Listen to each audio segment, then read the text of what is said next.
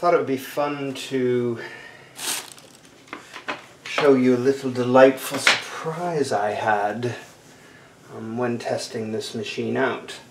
So what I realized is um, there is definitely a distinct advantage with an oscillating hook as opposed to a complete rotary hook when doing free motion embroidery. Hence why you often see people on the old straight stitch uh, class 15 machines doing a lot of embroidery. One of the big advantages is if when you're stitching really heavy fabric and, and heavy embroidery, when the needle goes through, what happens is if it misses the stitch, partly, if it misses a stitch with an oscillating hook, the thread just goes in and out and pulls up and there's no problem. With a rotating hook, sometimes it, it gets pulled halfway around and you end up with this sort of three um, fingered loop. And that happens quite often when it misses a stitch, but it just doesn't do that with an oscillating hook. So it makes it a little easier when you're doing some of these complicated um, patterns and heavy-duty patterns. It works fine in both, but I found the oscillating hook is actually a little easier to do complex embroidery for hours on end. Just different experience. But what I thought would be fun was to see if the Kenmore 1914 158.1914 that I've got here would embroider very well. Um, as you can see here, there's quite a bit of green, which I've done before, and uh, now I'm working on the gold for a Christmas runner. And I found out that this machine does it very well. Now I've just got the put the foot on here at the moment just because I'm doing very simple things like that and it just makes it a little easier to keep the fabric um, low. But the other thing which surprised me about this machine is, take this out here, snip, the off. What I thought would be a real problem on this machine was this strange shape. So let me see if I've got a ruler or something I can demonstrate this better. Yeah, this will do. If you look, hmm, maybe that's not so good. If Yes, that, that works. If you look here, you'll see there's a big slope here, but it's a little flatter in the back. I thought with this design, it would be a real problem doing free motion embroidery on this machine. However, what I soon discovered was this design works to the advantage because there's you're not getting caught on anything. So I'll explain and show you what I mean. So quite often what happens with an embroidery hoop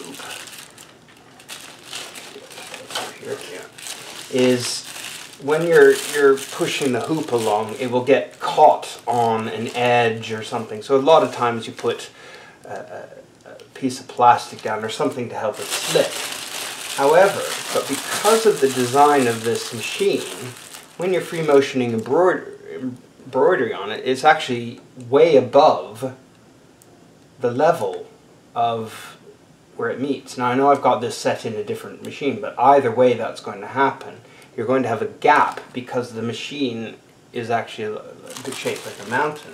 But what it means up here, where you're actually doing the work, and because when you're doing free motion embroidery, you're, you're usually holding the, and directing, always concentrating on the area around the needle. This area around the needle is elevated and perfectly under the hoop. So it's very close and gives it a really good, secure foundation, and it's easy to move around through all the, uh, the areas of the hoop. So I found this machine is, even though I thought it'd be a disaster, it's really good for free motion embroidery. Now one of the awkward things about needle position, but of course you can cheat and use the, the cam lever and cam setting to move it over the left. But the other thing I've been experimenting with is looking at the placement of the zigzag depending on which particular buttonhole setting you use. So because you have a right and a left side of the buttonhole, that changes your the location of the zigzag. And what I realize is if you use the right side of the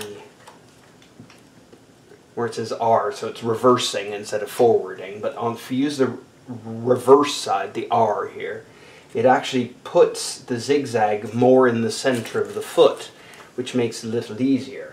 Now if you're like me, because this is a smaller machine compared to the big one, my Consew, you can actually use the F side to get the zigzag more on the left side. So that helps a bit as well to try and use every ounce of space you can under the machine. The other thing, of course, which is great about this machine is the needle bar area is very small and that's quite a high shank, so it's quite easy to get hoops under here and to get close in the spaces you need when you're doing free motion embroidery. The only thing I wish was a bit more, tiny bit more space in the, under the needle so it was easier to get the hoop under there. But that's a minor issue. So I thought I'd give you a little demonstration. Now I'm using this foot, it's, it's just set with zero foot pressure. It just helps the fabric to not get pulled up when it's working hard. Um, but I will show you how it works. Now I have my magic um, foot controller on here, the, the one with the um, lamp um, resistor to avoid the, the foot pedal getting hot because when you're doing this kind of work for a long time it will really get hot but it doesn't get hot at all doing this and I did all of that last night hours of time. I've just re-oiled my machine today because of course I've hit the eight hours of sewing non-stop and it's heavy duty sewing as you're doing all of this. So the machine is ready to go. So I've zoomed in now and let's go. So I'll just make sure everything is in the right place. Yeah. So you can see, we go,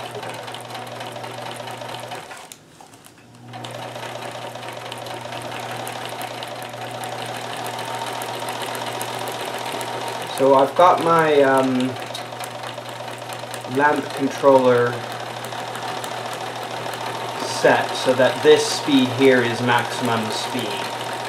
Which means when I'm doing this kind of work, that foot controller is not going to get hot at all. Because I'm literally sewing at full speed now. Um, now I'll demonstrate that it works just fine, of course, without the foot um, staying different.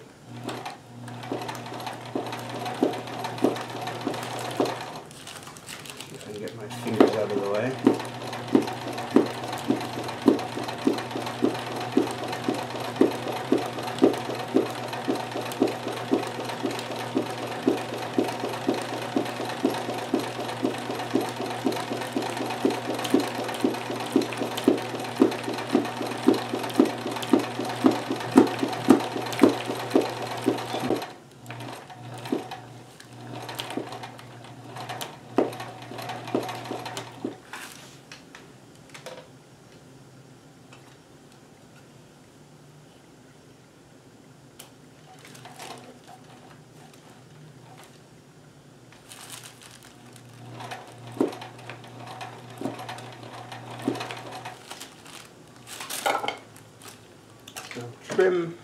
Okay, I've rethreaded the machine. That's most one of the most common areas of guilty of guilt is that sometimes the, the curdy nature of the embroidery thread causes uh, problems with the machine. Okay, I've changed the needle. Let's see if this cooperates. It's always the way with videos. It works perfectly until you get on the video and then you can embarrass yourself extremely.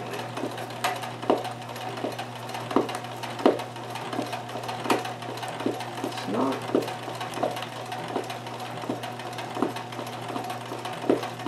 It's grumbling a bit. It's not as smooth from the bobbin areas. I'm guessing. Hmm, it's cooperating a bit. Sometimes you can get a thread wrapped around the, the bobbin area and that causes problems after you had a thread breakage. Although I must admit it seems to be cooperating now. So I'd say we might have recovered. So let's do the next one.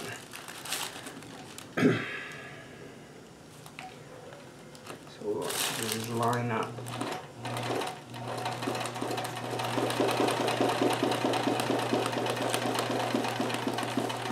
You see it works very well. And the general shape of I'm working on.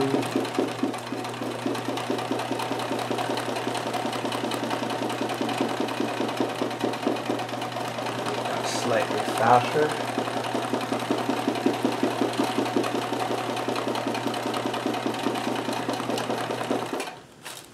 Okay. This isn't needed anymore. And, oops, put the zigzag up. Make sure I know where the zigzag's gonna zigzag.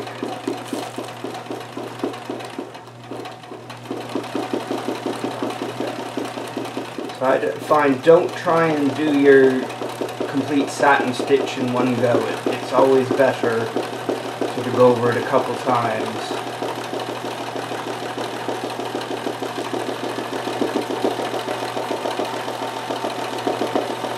Yeah, now it's sounding like it should. I must have had it threaded wrong and it needed a new needle.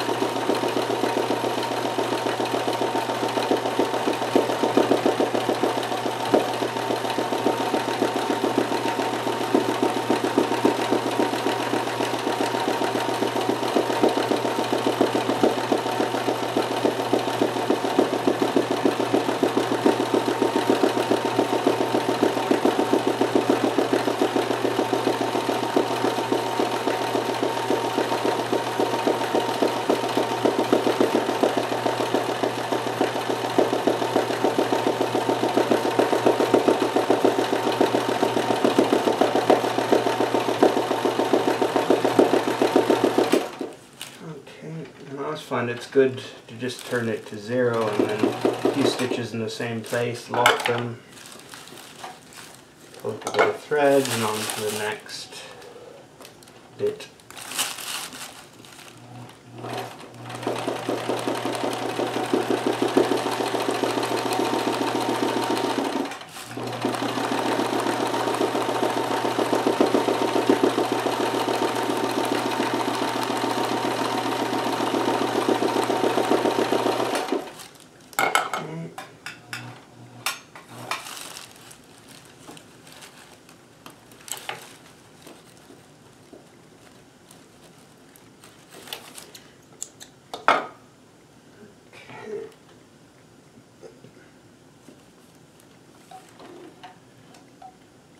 Right, turn on the zigzag, and then off we go.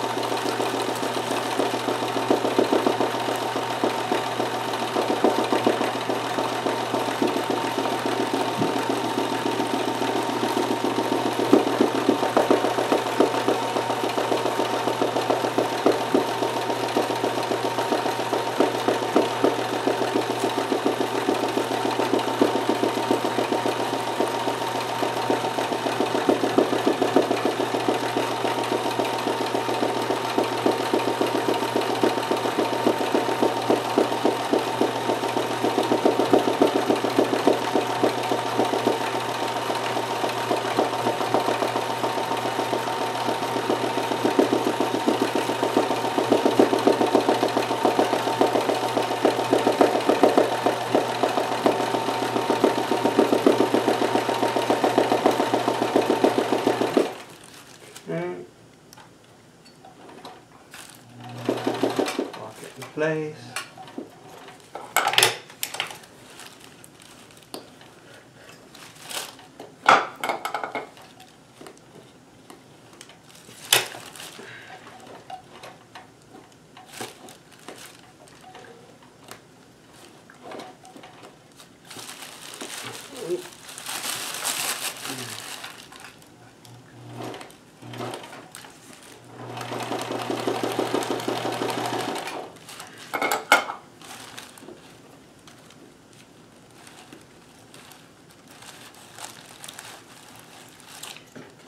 So we've now got miles and miles and miles of just continuing around to finish this work.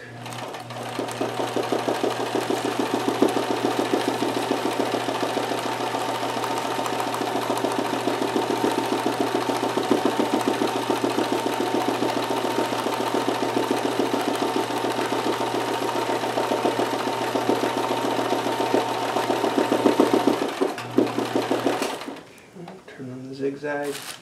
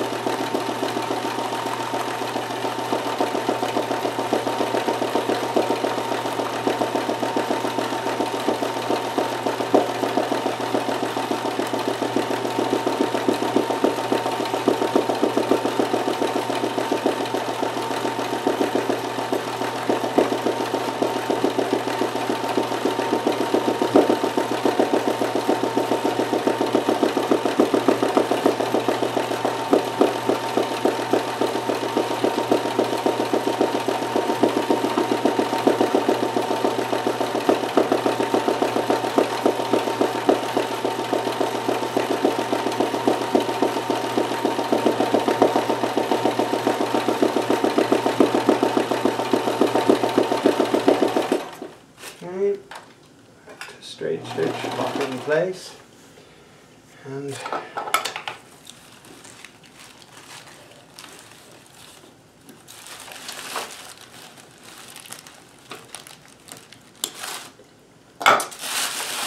over over on this side.